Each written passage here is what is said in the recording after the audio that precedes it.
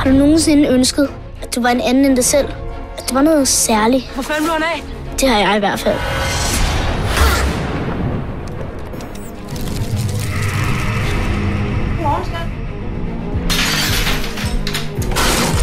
Jeg skal nok lade være med at sige det til nogen.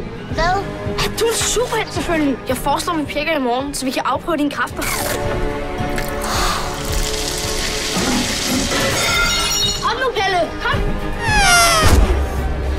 Superheltenavn skal være fedt og nemt at forstå. Amboy. Du får brug for et kostume.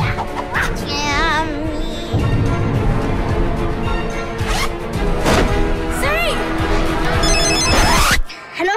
Hej skat, det er mor. Jeg kan se tale lige nu, mor. Mit navn er Loppen. Og ligesom min navnefælde er jeg umulig at slippe af med. Er det ikke også dit job at redde hende? Mig? Ja. Er det ikke sådan noget super, de gør? Jeg vil med. Jamen, det er jo alt for farligt. Piger ødelægger alt. Pisse myrer. Ja.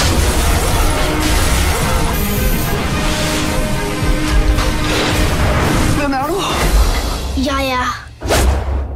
En boy.